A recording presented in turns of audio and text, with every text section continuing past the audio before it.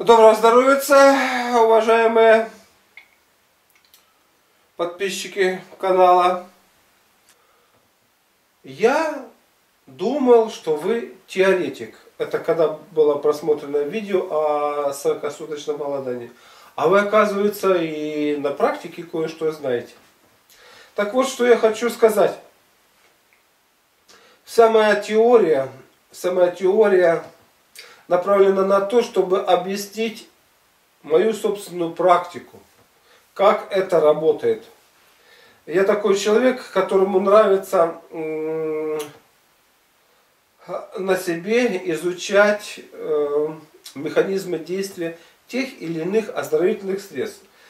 И если ты что-то практически можешь, то тебе уже легче это передать другим, рассказать какие-то частности, какие-то особенности. Если же ты теоретик, ну, например, вот теоретик, о, 40 суток э, поголодал, ну и что там 40 суток. То есть человек даже не понимает, что происходит там в первые сутки, что происходит там во вторые, что происходит там э, на 22, на 32, наконец-таки на 41, как там выходить. То есть он не чувствует, не знает, реакции своего организма, он это не пережил, он это не чувствует, и поэтому ему э, чисто теоретически что-то там говорит, а, какой-то там ацидоз возникает, что-то там плохо, неплохо, там, э, ну, короче, плетет не колесицу. А когда ты это прошел, ты уже четко знаешь, что с тобой происходит. И в своих книгах и трудах я стараюсь так это преподнести, чтобы рассказать для вас, что с вами будет на основании своего личного опыта. То, что я пережил, и практически э, в среднем каждый человек через это проходит. Конечно, бывают частности, каждый человек индивидуально. Так вот, в этом видео я хочу а, особенно подчеркнуть, какой я теоретик и практик. Чего я достиг на практике. И чему могу научить вас. Или хотя бы рассказать, как это работает. Значит, первое. Школу брать не будем. В детском садике я не был, школу брать не будем. В школе я учился на тройке, мне просто-напросто было неинтересно. Что было интересно, то я читал с удовольствием. Читать я любил. Далее у меня начинается спорт. В спорте я стал мастером спорта СССР по тяжелой атлетике. Поднял 200 килограмм. То есть не просто там оторвал, а толкнул их. То есть это разные вещи. То есть конкретный результат мастер спорта СССР. Зафиксирован. Этому я могу научить вас рассказать. Что в свое время я делал, будучи тренером по этому виду спорта. Далее, далее. Ну, вы видели голод мой. Так как я не просто, знаете, вот только раз и отголодал сразу 40 суток. Нет. Я к этому готовился постепенно. Мне было интересно, что этот метод может дать. Сразу замахнуться на 40 э, суток, конечно, можно клинике под наблюдением. И то могут врачи, там, специалисты, которые следят за этим, могут вас не допустить до такого срока. Самостоятельно же пришлось готовиться. Начинать сутки, двое, трое, пятеро там и так далее, и так далее. И наконец-таки, как говорится, апофеоз, я дошел до 40 с лишним суток, отголодал. О чем есть видео.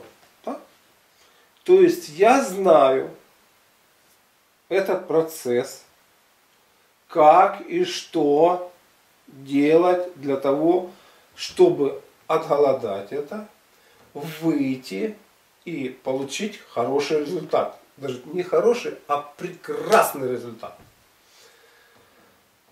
Знаю, сделал сам. Два раза я голодал по 8 суток насухо.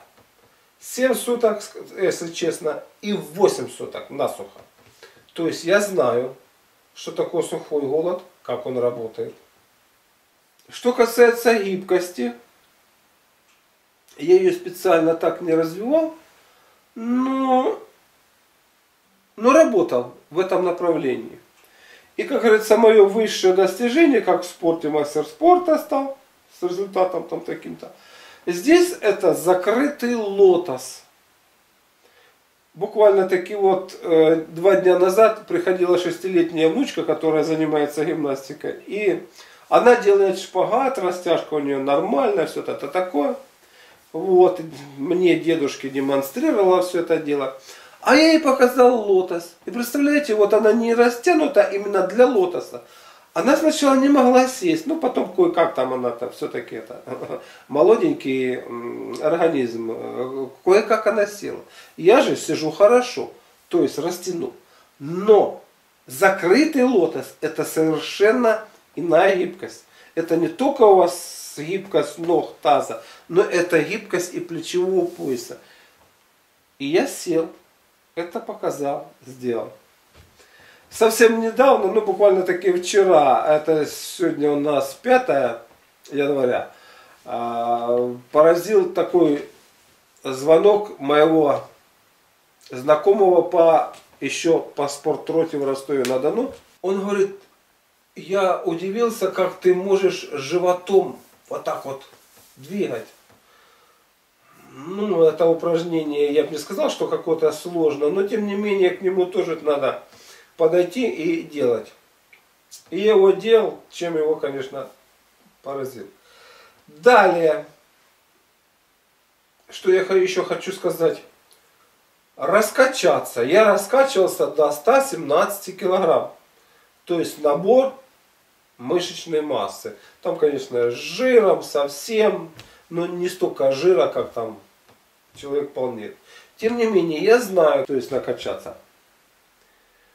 И даже сейчас вы можете посмотреть мое видео и попробовать. Я сейчас вот совсем недавно делал с 27 килограммами вот такие вот движения. Гантели 27,5 килограмм. Попробуйте сделать это на седьмом десятке.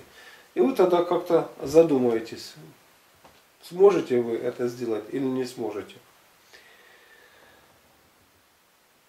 Что касается закаливания, я э, также готовился э, к этой непростой процедуре, общению с холодной водой.